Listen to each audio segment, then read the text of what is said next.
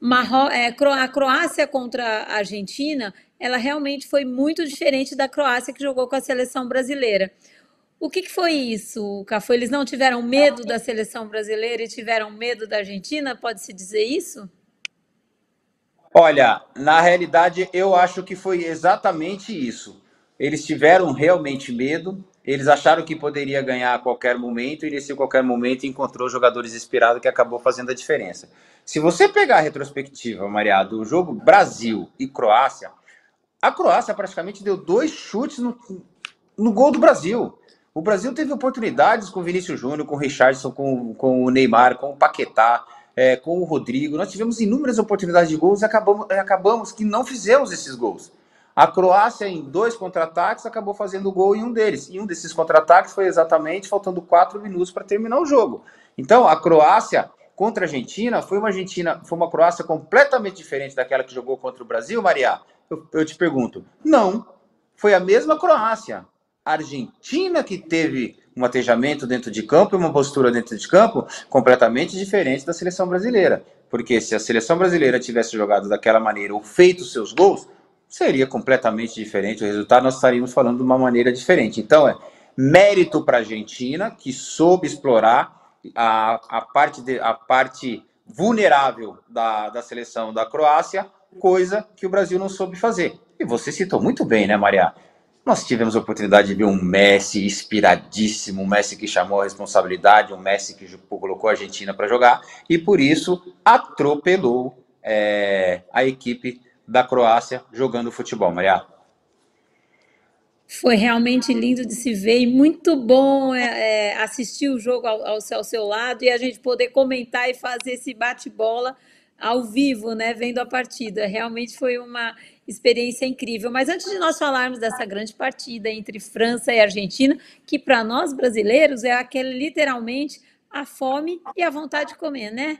Porque eram as duas seleções que nós não queríamos ver campeões, campeãs do mundo, mas estão aí por mérito.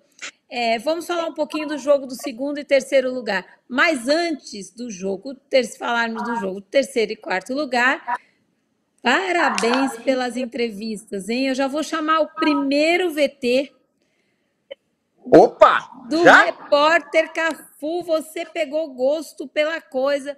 E o primeiro VD é um jogador que eu gosto muito e acho que os brasileiros também gostam muito. É um português que conquistou o mundo aí. Vamos ver, Cafu, entrevista. A gente pode falar o nome dele ou espera? O que, que você acha? Ah, eu acho melhor aguardar a surpresa.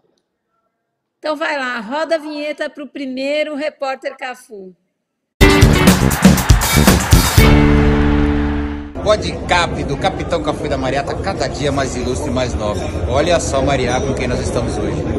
Figo. Ó, me deu canseira, de verdade. Me dava canseira para marcar, me deu muito trabalho. Era difícil marcar. Que jogador. Seleção portuguesa, passou por grandes, por grandes clubes. Figo, fazendo só aí mais ou menos um breve relato do que aconteceu nesse Mundial. Estava dentro da expectativa, o que, que você viu? Surpresa de Marrocos, uma surpresa maravilhosa. Hoje nós estamos aqui vendo Marrocos e França.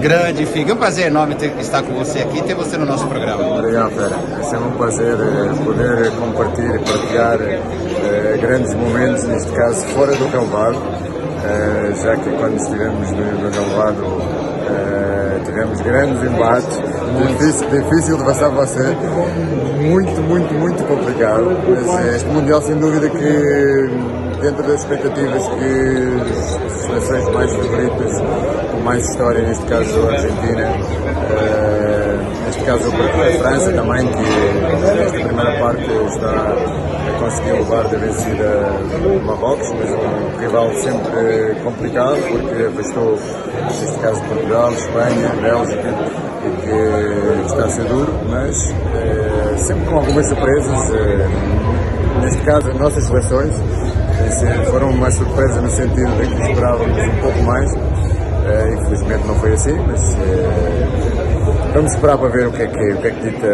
esta meia final, uh,